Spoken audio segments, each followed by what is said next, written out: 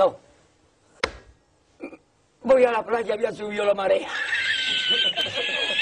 Jesús.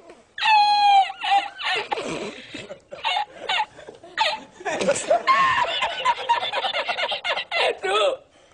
Había subido la marea y encontré una paella.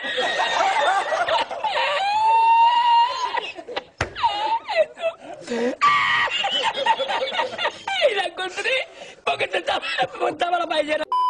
So you decided to download Fallout 76 from the Game Pass and now you can't get past the start menu. Well don't smash that computer yet, cause I've got an easy and simple way to permanently fix the no region ping bug. Okay, so the problem is that you downloaded the game on a drive separate from your main C drive. So what you need to do is go to the drive that you downloaded the game on, go to Program Files,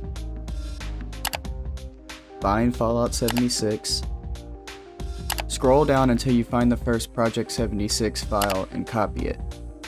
Now go down to search on the taskbar and look for the My Games folder. Open the Fallout 76 folder and paste here. Right click the file and click Properties. Click the box next to Read Only and then click Apply. Alright, last thing, go to the top and click Security. Click the Edit button now click on the administrators group and then click on the box next to write. Alright, click apply and that's it.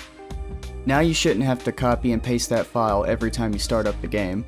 I hope this video helped and I'll see you in the next one.